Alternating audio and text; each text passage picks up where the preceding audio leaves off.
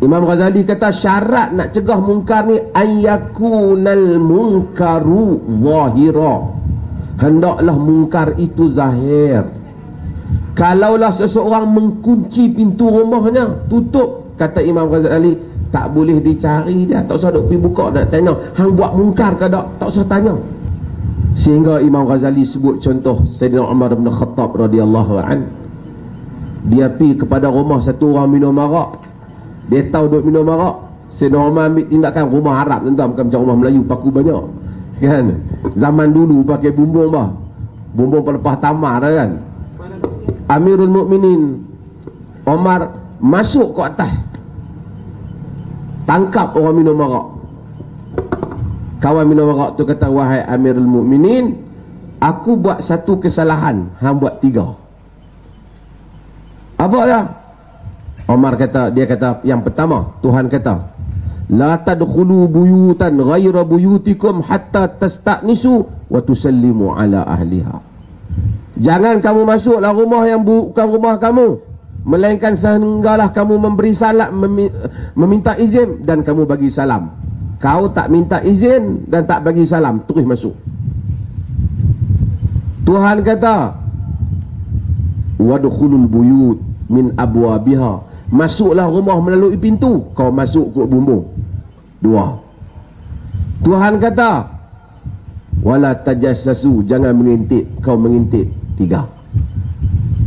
Tiga kes. Aku satu Jangan minum arak. Kau tiga.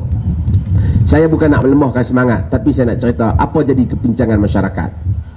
Bila kita terlalu duk tumpu dalam benda yang sembunyi Benda yang tak pasti Duk pergi ketuk pintu rumah orang hotel kadang-kadang macam Langkawi punya kes dulu. Tangkap kawan yang memang dah kahwin. Dia tu pula tak bawa si Jem nikah dapat bercuti dengan isteri. Tidur bermalam dalam penjara. Sehinggalah adik-beradik mai bawa si Jem surat nikah dan dia duka cita. Dia kata tak ada orang minta maaf pula tu. Ok tak apa boleh keluar. Kawan ni hotel lah rugi dah RM300 semalam. Pasal lupa bawa kad kahwin. Padahal mungkar yang banyak kita biar. Saya buat contoh. Kalau kita buka majalah hiburan yang berpeluk lelaki perempuan terang-terang. Tak ada siapa pergi tangkap artis tu. Dalam filem peluk terang-terang. Semua orang nampak.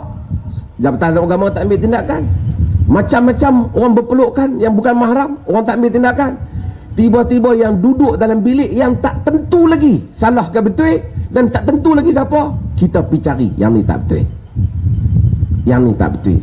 Yang terang kita biar yang tersembunyi kita cari. Sebab itu mungkar berleluasan yang merosakkan environment kita memberikan contoh teladan yang buruk pada anak-anak kita.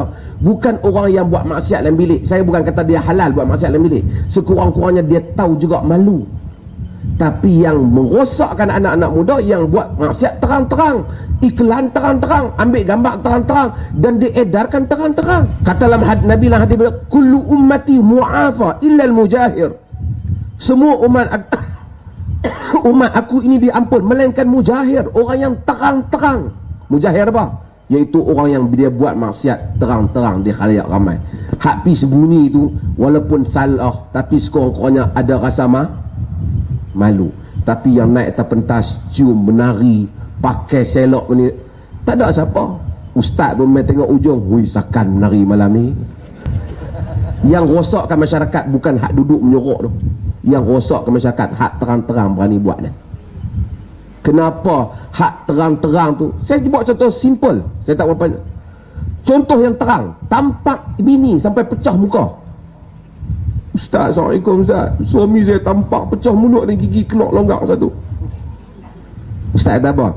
Sabarlah no, insyaAllah. Gigi yang longgak tu Tuhan pasang balik dalam syurga. Padahal itu mungkar. Tampak bini sampai cedera mana? Boleh lah agama. Tapi tak ada orang pergi tangkap suami tu.